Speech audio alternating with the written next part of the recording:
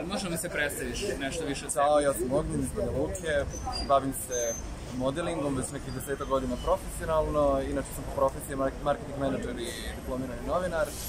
Znači, to je to ukratko, onako kao najdražu stvar u dosadašnjem radu. Bih izvojio to što je moja fotografija izašla u Vogue italijanskom izdanju na njihovom portalu kao fotografija sedmice bila je zaista fantastično i to je nešto što je ono što mene čini zaista ponosnim. To je, to je tvoj motiv za ulazak? Za... Motiv za ulazak je čisto jedno novo iskustvo, zato što ja jako volim adrenalin, volim da probam nove stvari, volim da poznam nove ljude i generalno da testiram svoje granice, tako da generalno ulazim iz tog razloga, ne pretjerano zbog novca, naravno i novac je uvijek motiv, ali generalno čisto zbog promocije i zato što uskoro izlazi moj brand na kojem se radi dvije godine, bit će fantastična odjeća, tako da je dočekam i pošto to malo sada ispromovišem. Došla si prati devojke. Tako Dakle, ulaziš za Ulaz. E, šta možemo očekivati od tebe?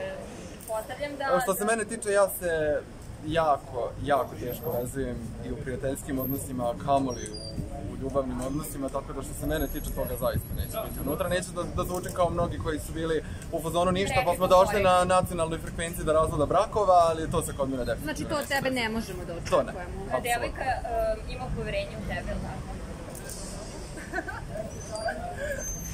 Reci mi, ovaj, poznat si na TikToku, neke tvoje ovaj, viralne klipove. Jeste. E, na TikTok je mreža koju ja prvenstveno nisam htio da koristim, jer mi je bila ono bez veze, ali vidio sam da ih sve veći broj ljudi koriste TikTok, preko ajde zašto da ne da probam i okačio sam par videa i svi su postali viralni ono 300.000, pola miliona, generalno baš su izazvali pažnju i onda sam nastavio, mada sam sad malo stagnirao, iskreno. Jer se deklarišeš kao TikToker, influencer ili ne? Ne, TikToker definitivno ne, to je, to je nešto što je onako čisto popratna stvar, ja sam većinom na, na Instagramu vrlo aktuelan, zbog posla i zbog svega toga, TikTok je nešto onako usputno, čisto, čisto usputno za zabavu. Poznaš li nekog od bivših zadrugara?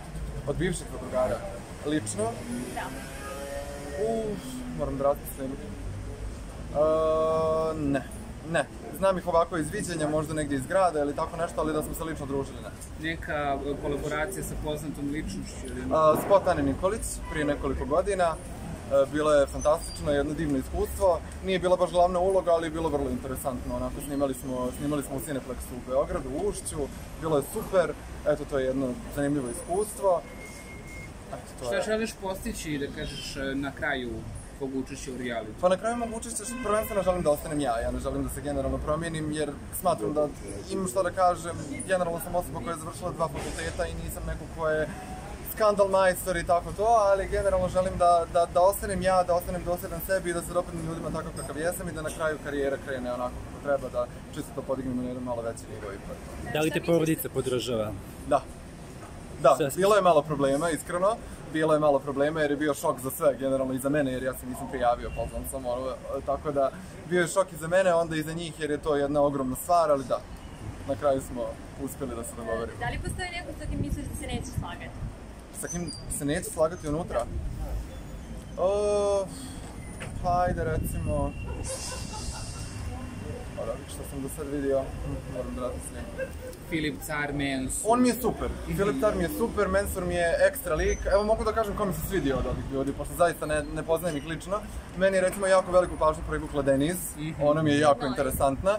Volio bih da je upoznam, nadam se da ćemo ustvariti neku lijepu komunikaciju. I dečko Stefan, čini mi se da se zove, iz Dubaja je. On mi je zaista jako kulturan, jako normalan. Slični smo tu negdje po, po razmišljanjima ono što sam uspio da čujem, tako da mislim da će s njim dobro da se slaže. A Miljana Kulić? Miljanu obožavam. Ja sam rekao prvi dan kad uđem u, u zadrugu, ako se ona slučajno pojavi, da želim da popijem kafu s njom i da ispušimo cijelu kutiju cigara i da ona meni objasni kako ovaj, ono funkcioniše, jer me to jako zanima već evo unazad par godina. A ukoliko ipak negdje dođete u sukob, da li ćeš se uslučavati i da joj kažeš sve što misliš ne. ili si na otvoren? Ne.